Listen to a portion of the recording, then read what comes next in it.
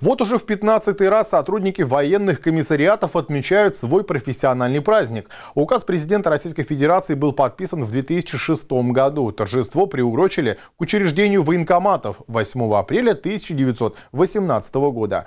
Далее продолжит Елизавета Кабанова.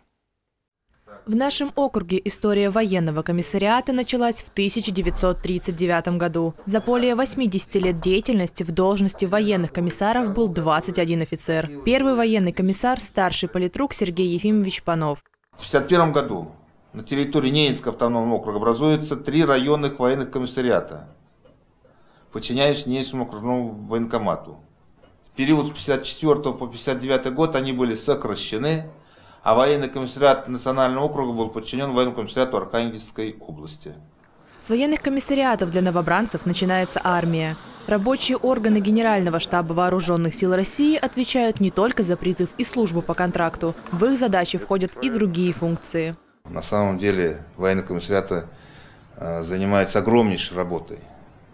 Это прежде всего, конечно же, подготовка и проведение мобилизации – второй момент, очень большой пласт социальной защиты населения, имеющий отношение к военной службе. То есть, либо когда проходит службу, либо проходит служба. Это и уволенные с военной службы, это и ветераны, и инвалиды. Категория огромная последние годы призывники охотнее идут в армию. Наших ребят в основном направляют на Северный флот, воздушно-космические силы, а также в сухопутные войска Западного военного округа. В осенний призыв 2020 года на срочную службу было призвано более 100 молодых людей.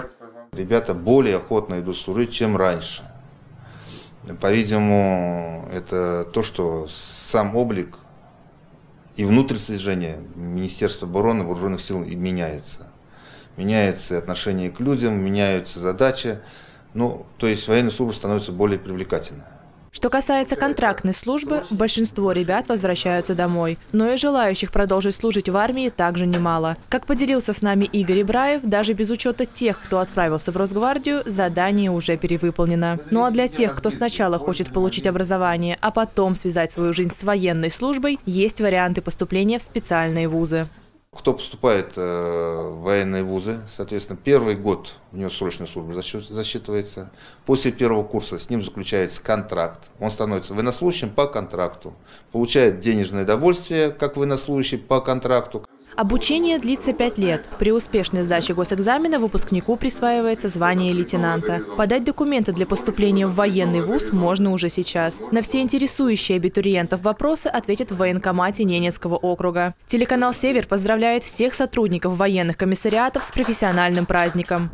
Елизавета Кабанова, Дмитрий Лукевич, телеканал «Север».